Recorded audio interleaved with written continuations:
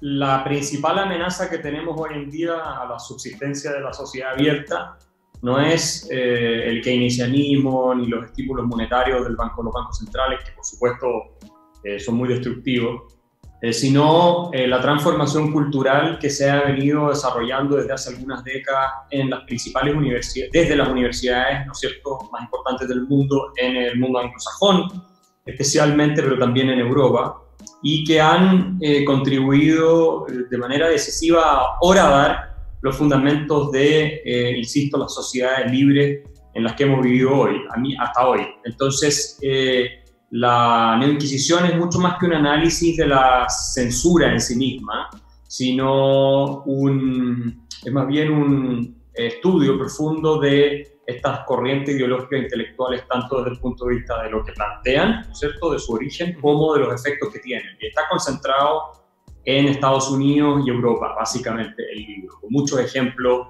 y con, con bastante análisis eh, también de, de, las fuentes intelectuales y los elementos que están llevando a la, a la, ruina cultural que estamos viendo hoy en día. Es importante entender que eh, corrientes irracionalistas, porque de eso estamos hablando, eh, que han constituido una amenaza a la sociedad abierta, han habido muchas. Los dos más grandes ejemplos son el nazismo y el comunismo Ahí el análisis de Karl Popper es muy importante, filósofo austríaco. Eh, el irracionalismo es básicamente eh, el opuesto a el racionalismo que vendría siendo abrazar la idea de que existe una verdad a la cual nos podemos aproximar, nunca de manera perfecta, pero gradualmente mediante el, diálogo, el discurso racional, el método científico, que vendría siendo básicamente las reglas de la lógica y la evidencia empírica, ¿cierto? Eh, lo que se postula hoy día es que no existe la verdad, eh, más allá de eh, la subjetividad absoluta de los individuos, eh, que por lo tanto las emociones de cada uno son el criterio último con el cual tiene que medirse la validez de cualquier discurso público y cualquier opinión. y se le otorga en ese esquema de irracionalismo una mayor, por supuesto, validez a los sentimientos de, en este caso, de grupos que asumen el estatus de vanguardia de, estos, de este nuevo movimiento totalitario, porque yo creo que es eso, un movimiento totalitario, eh, que vendrían siendo estos famosos eh, grupos oprimidos, ¿no? Los grupos oprimidos o marginados, supuestamente por la cultura blanca heterosexual occidental, ¿no?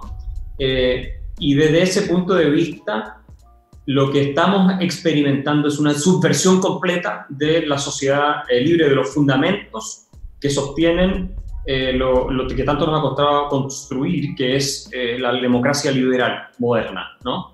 Eh, ¿Por qué? Porque la sociedad abierta descansa sobre la base, como digo, por un lado del diálogo racional, así que la evidencia importa y no tus sentimientos, tus sentimientos son irrelevantes, y también sobre la base de una premisa filosófica normativa que es la igualdad moral de todos los seres humanos y por lo tanto la igualdad ante la ley. O sea, de la igualdad moral, de que todos tenemos la misma dignidad, sí que nos aplican la misma ley. En el minuto en que tú sostienes que hay grupos que son moralmente superiores a otros porque son oprimidos, que es lo que piensa Ocasio Cortés y gente de, ese tipo, eh, no se aplica más la igualdad ante la ley. Tú tienes por, por necesidad que subvertir la igualdad ante la ley porque esta se entiende como un pretexto para eh, justificar y permitir que siga existiendo la desigualdad y la opresión invisible que se encuentra en el ADN de la sociedad burguesa occidental moderna hecha por el hombre blanco. ¿ok? Y eso tú tienes que subvertirlo. Y por lo tanto, yo aquí lo digo con mucha seriedad, eh, a lo que se apunta básicamente es al retorno de un colectivismo tribalista, lo que tú dijiste, una sociedad de nueva, nuevas sociedades de clase, en que va a haber ahora sí oprimidos y opresores, porque la ley, si es que esto se sigue desarrollando en la dirección que va, eh, va a establecer esas categorías, ya las está estableciendo cada vez más, ¿no es cierto? Y en, definitiva vas a tener eh, una especie de persecución, ahora legal, ya no solo cultural, de determinados grupos, a los cuales se les va a tratar de, manera diferente, solamente en función de su etnia, su orientación sexual, su género, lo cual es exactamente lo que hicieron los nazis y lo que hicieron los comunistas. Es decir, en este caso es más parecido al nazismo, yo diría, porque eh, lo que se está llegando a sostener incluso en Estados Unidos cuando ve las discusiones delirante es que la raza blanca es por eh, genética eh, maligna. ¿no? O sea, el, gran libro este de D'Angelo que está de moda ahora, White Fragility, de alguna manera sostiene que los blancos vienen genéticamente condicionados por ser blancos a ser eh, racistas, a ser opresores, a ser malos. Y además dice, cualquier persona que no está de acuerdo con este diagnóstico, prueba el punto que yo estoy haciendo. ¿no? O sea, si tú me criticas es porque eres un racista. Que es exactamente la estrategia que usaron los regímenes totalitarios, los nazis, los comunistas, para eh, justificar eh, este círculo de hierro cerrado de pensamiento dogmático que son sus ideologías totalitarias. Si tú me criticas es porque estás en una falsa conciencia, ¿cierto? Que eres producto de la burguesía en el caso del comunismo y por lo tanto estás siendo un instrumento de opresión. Y en el caso de los nazis era, eh, si tú no estás de acuerdo con el nacionalsocialismo, estás entonces de, acuerdo con la conspiración judía internacional o lo que sea para someter al pueblo alemán por lo tanto tenemos que eliminar. Esa es, este último paso todavía no lo dan en el sentido de plantear derechamente un genocidio, pero tampoco los nazis lo hicieron desde el principio. Hay que acordarse de eso, la Hannah Arendt escribe muy bien cómo fueron las etapas del holocausto, del holocausto judío, pero el germen estaba, ¿no? Y terminó produciéndose eh, de esa manera. Ahora, yo no digo que vamos a terminar en eso necesariamente, pero sí, a lo que voy, con esto termino, es que hay una esencia acá totalitaria de pensamiento dogmático, circular, hermético, que eh, está eh, desarrollándose con mucha agresividad y que si la resistencia, el sistema inmunológico de la sociedad libre no es capaz de frenarlo, vamos a terminar o en conflictos civiles con sociedades completamente atomizadas o vamos a terminar en regímenes autoritarios y dictaduras de algún tipo, ya sea la reacción conservadora, que puede llegar cuando esto genere un caos inmanejable, o eh, una, una, especie de eh, dictadura de progresista que de a poco se ha ido instalando también gradualmente. Y yo, por ejemplo, temo que se repita lo que sucedió en el periodo que hubo entre las dos guerras mundiales, ¿no? en el que muchas personas encontraron en los totalitarismos nacionalistas como la manera de preservar su mundo y escapar de lo que ellos podían entender en ese caso como la barbarie comunista o la barbarie bolchevique y demás.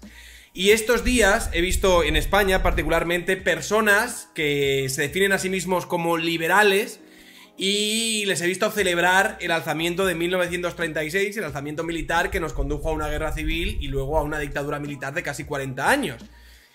Y yo creo que los que creemos en la libertad, eh, por un lado tenemos claramente localizados a esta izquierda posmoderna, y, como uno de los principales enemigos tanto de la libertad como la libertad de expresión y una de las amenazas, como tú bien has dicho, de, nuestra cultura occidental, pero no sé si somos del todo conscientes o complacientes con la reacción a esta izquierda posmoderna por parte de movimientos nacionalistas, populistas y que abogarían a lo mejor por una democracia iliberal y por combatir el fuego con fuego. O sea, y me gustaría preguntarte en ese sentido qué partido tomas en esto y cómo se contrarresta o cómo podríamos escapar de esta pinza que nos podrían llegar a hacer entre los dos lados. No, mira, es posible que no haya, no haya posibilidad de, escape de la pinza. O sea, eso es muy probable porque cuando la sociedad se polariza al nivel eh, que nosotros estamos viendo y que probablemente va a ser peor de aquí en adelante, eh, un extremo, una acción genera otra reacción. Y un extremo alimenta al otro extremo. Eso siempre ha sido así en historia. Entonces, eh, nosotros obviamente tenemos que hacer todo el esfuerzo posible por eh, rescatar los principios de la sociedad abierta, el diálogo racional, enfrentar el pensamiento dogmático del lado que venga. pero es verdad que estas cuestiones toman una dinámica propia. Y, una vez que se desatan, y ahí está la pregunta, ¿hemos llegado o no al punto no retorno? Una vez que se desatan ya no puede hacer nada. Ya lo único que puede hacer es observar. ¿ah? Y sacar, alzar la voz y decir, bueno, esto está mal, pero no va a tener mayor influencia. Eh, lamentablemente el ser humano reacciona cuando las cosas escapan de las manos y empieza a tratar de ordenarlas y ponerlas en el cauce eh, natural eh, o, civilizado que llevaban cuando es muy tarde. Y y por algo se han producido las guerras civiles y estas se incuban durante décadas. No, no, es algo que pasa de la noche a la mañana. Normalmente se incuban durante décadas, cosa de la historia de la guerra civil norteamericana. Eh, y bueno, ustedes tienen una experiencia también en ese sentido, muy, muy dura. Entonces, eh, ahí, cuando somos ellos o nosotros, no puedes quedarte al medio, lamentablemente. O te retiras completamente, te vas del país y, no sé, te esconden en un... o, te obligan a tomar partido, lo contrario, termina, termina fusilado por uno de los dos bandos. Ese es el problema de esto. Eh, que al final, eh, como se destruye el espacio, el espacio civilizado, el espacio público, que es donde nos encontramos todos a debatir nuestras ideas y a buscar soluciones de alguna manera imperfectas, pero que vamos llevando el camino, evitando la violencia, cuando se destruye ese espacio, entonces te quedan, te quedan los dos bandos, o tres o cuatro, ahora mismo, pero te quedan los bandos que están, y, y, están o con nosotros o contra nosotros. Y tú ya estás viendo eso. El lado de la izquierda es súper claro. Si no estás con nosotros de manera explícita, entonces estás contra nosotros. De ahí viene el tema de eh, silence is violence. Ahora están diciendo que el silencio, el silencio es violencia. O sea, si tú no quieres tomar partido y quieres, no quiero saber nada de toda esta pelea que están teniendo con las tensiones raciales en Estados Unidos, y estás ahí y alguien te pregunta, ¿tú qué piensas de esto? ¿Tú prefieres? Y tú dices, prefiero no tener opinión. No, no, no me interesa meterte. Te van a decir que tú eres un violento en contra de las minorías oprimidas. Porque silence, silence is violence. El silencio es violencia. No hay nada más totalitario. Por eso yo digo, esto tiene mucho de parecido con el nazismo. Más que con el comunismo. Aunque tiene elementos de los dos, eran doctrinas idénticas desde el punto de vista de su alma filosófica. ¿no? Karl Popper es otro lo explica muy bien. Eh, pero decirte que si tú guardas silencio siendo hombre blanco, eres un racista, igual que como si eh, dices algo en contra de la opinión de ellos, entonces te pone a ti en la obligación de elegir. No, no puedes abstenerte. Tienes que estar o con ellos o estás contra ellos. Es así simple, eso es lo que te están diciendo. No puedes tener una posición neutral. Y ese es el mayor riesgo que yo veo de que esto siga desarrollándose eh, de la manera en cómo se está desarrollando en Occidente que, las polarizaciones sean gigantescas, que se desate el caos y que, por supuesto, venga en algún minuto una reacción autoritaria, y que las democracias sean iliberales, y esa reacción autoritaria probablemente va a ser más bien conservadora en algún momento, porque si hay algo que no se tolera en la vida común es el caos, el desorden, la inseguridad respecto a tu futuro, a, si vas a poder alimentar a tus hijos, así la violencia se va a desatar y te va a, a tomar tu propiedad y tu vida, y así sucesivamente. Bueno, yo acá en el libro eh, cuando hablo del, nuevo tribalismo, analizo esa posibilidad. Y hay gente seria en Estados Unidos, como Víctor Davis Hansen, que están hablando de la posible nueva guerra civil. O sea,